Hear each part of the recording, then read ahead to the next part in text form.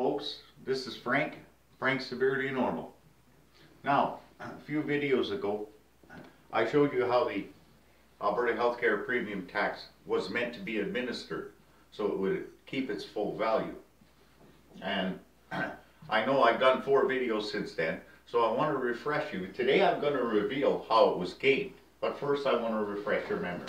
So, let's say that the poverty level was $10,000 in 1969.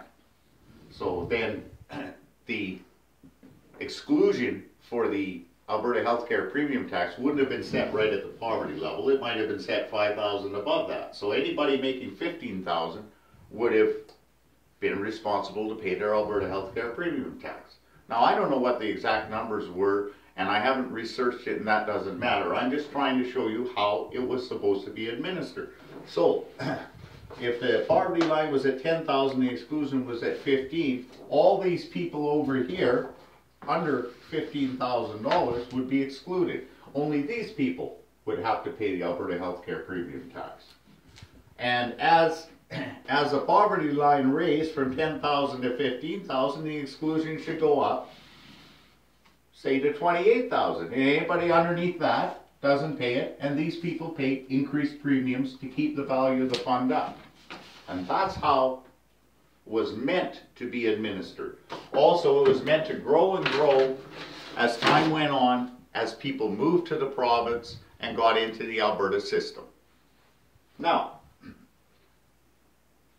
and as people went from 17 to 18 years old and went out on their own, they were responsible for their own because they didn't live with mom and dad and go to school anymore. So the, the fund was meant to grow and it should have reached a certain level at a certain time. And the reason you know this is true is because Mr. Prentice, when he brought in a health care premium tax, resurrected the system, he set it at 15, 50,000. Anybody under that was excluded because that is where he figured it should have been at by now, had it been administered properly.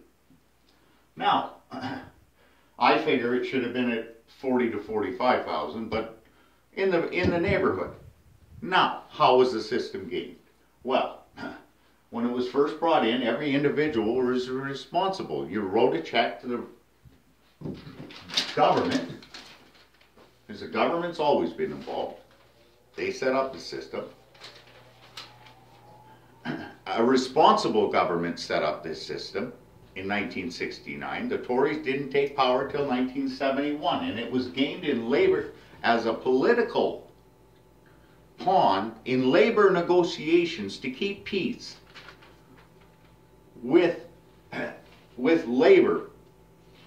And I'll show you how that works. So, sometime in the in the 70s, the labor unions were becoming more and more powerful and demanding a bigger piece of the Alberta advantage, the oil that was now, because the government was opening up the oil business.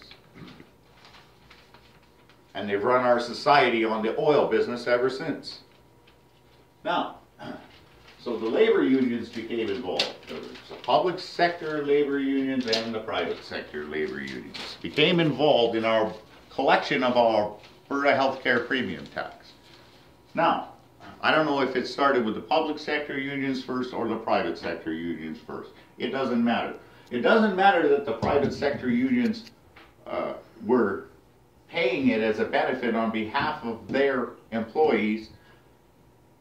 That was a profit in private negotiations between the people who own the companies and their workers with their representatives involved. The full amount still went into the public purse.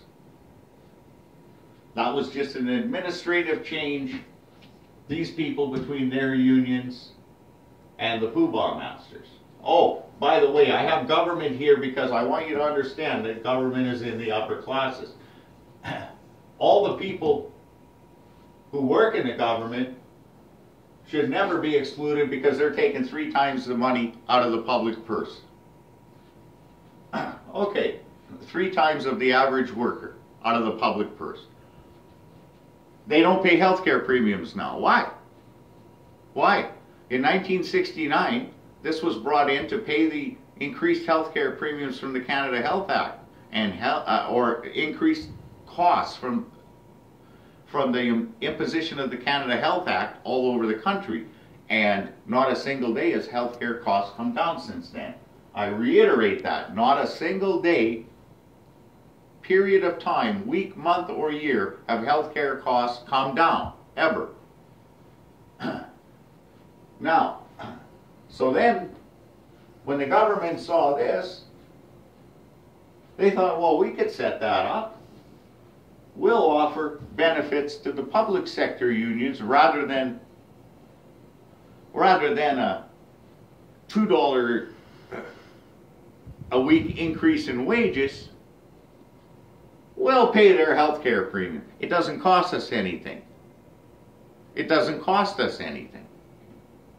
But it does, it costs society. Because if they do that, if they pay all or a portion they are controlling our purse. They are paying somebody else's taxes out of our purse while those people are getting paid out of our purse. How ridiculous of a situation that is. So I'm going to give you one example. In my family, I have a relative who worked for the government. Now, she had this benefit where they pay 25% of her Alberta health care premium.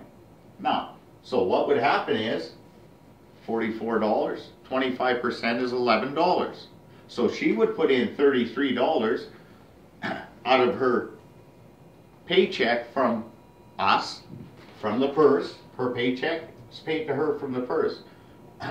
now, she got her check, she'd go to the bank, then she, or maybe it was taken off at source, I don't know. But the other $11 was taken after she was paid out of the purse and thrown back into the purse. And that's ridiculous.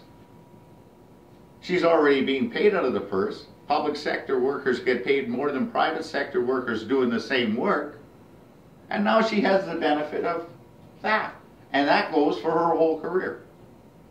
Now, when did she get that benefit? I don't know. I didn't check it out. But we have 200,000 employees, the Alberta government, at least 200,000 employees. And were they all getting a portion of this benefit paid out of the public purse? What kind of negotiating did the Peter Lougheed government do way back then? They didn't. They didn't. They gave away our tax base. Now, that's all perfectly legal. Now, because they're the government and they know better than us. I'm going to show you that this is the reason, the main reason in my mind, why they ran a game on us for 15 years and wiped out the whole old system that's broken down there. Because they had to get it back to where it was supposed to be, where Mr. Prentice tried to bring it in in 2014. Everybody under 15,000 excluded, everybody above that. And I will show you these people who used to have this benefit. Well, when the system got wiped out in 2008, when Ed Stelmach said, we're not going to do our job anymore. We're not going to collect your money and put it in your purse Oh, it didn't cost them anything for the first six years. These people who used to have this 25% benefit, maybe some of them had the 50% of it paid, maybe some of them had all of it paid. Who knows? you people lost big time. Because by wiping out the whole system, they kept every dollar from going into the purse. And if you look over here, it is what created $8.04 billion in debt. By the time Jim Prentice came, spent your money to rent TV cameras, put you across his knee and spanked you and said, look in the mirror. Are you starting to understand this a little bit, Alberta? The next video is going to start to show you how they did it, pre-planned triggered events to destroy the whole system that we had because they had gained it and they had to get it back to where it was supposed to be in the first place. but them driving us to be at the risk and pay bank interest and pay bank interest, this is criminal. Somebody should be in jail for this fraud that I'm going to lay out for you in my next videos. I'm Frank Severely Normal. You have a great day.